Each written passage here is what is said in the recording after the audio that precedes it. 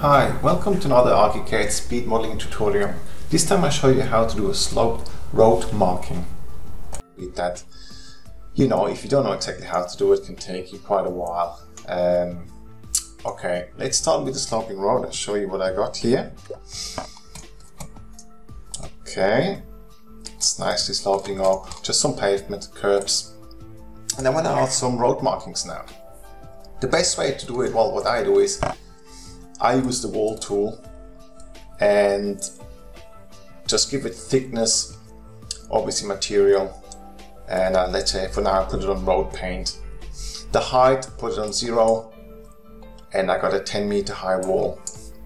What's important, I'll show you in a moment, is that it obviously sticks out above the road and goes all the way down. So let's just draw just a marking here. Alright, let's just sort of paint there. So what you do is we can just now increase this, uh, multi multiply it, um, let's just spread it. I think spread is the best way. There we go. Spread, and we maybe space it, I don't know, just for the purpose of now, 4 meters. So we just space them along. There we go. So if you look now, see they're sticking all out perfectly nice um, above, above the road surface. Now obviously you can just do anything you want, you can put throughout um, arrows, you put down pedestrians, any other line marking, marking you need. You just use the wall tool, but you, you can obviously use the slab tool or any other tool you feel like. Okay, I prepared something earlier, it just um, delete those again, and I put them on a layer called cutting elements. So if I show you that layer now, maybe a bit. There you go, cutting elements. Alright, so I prepared this. You can see I put some arrows in, pedestrian to walk over, any other line um, road markings. So if you look in 3D now, you can see they're all sticking out and they're going further down. Alright, so that's quite important.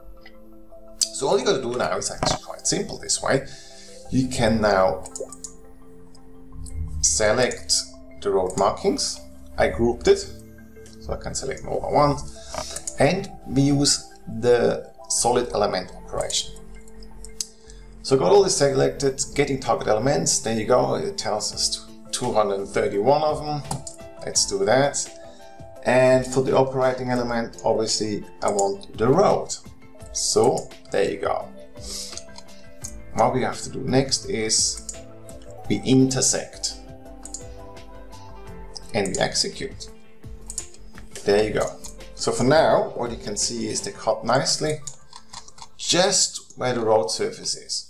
The one little problem we have, as you can see there, those two surfaces, they just are exactly the same height. So this doesn't look nice, it wouldn't render correctly. Now what you can do is, I mean a lot of people maybe think now, okay, let's, let's just elevate the road markings. I can do that quickly if you want to and, and show you what happens. Let's just select them. Now if I elevate them, let's just to make it very clear, let's just elevate them by 150. Alright, you maybe saw it did elevate them, but because we got the cutting plane still in, in place, which is the road, it just keeps cutting it off. So we can't say, oh, I want this like just two or five mil above the road. So the trick is, while it's all selected, do a right click and we convert the selection to a morph object.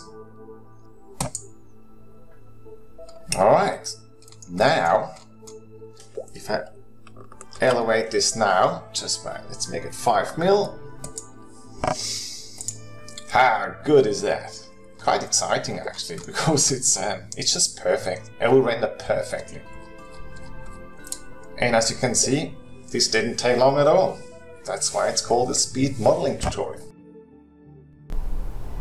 Alright, this is it. See you next time. Bye for now.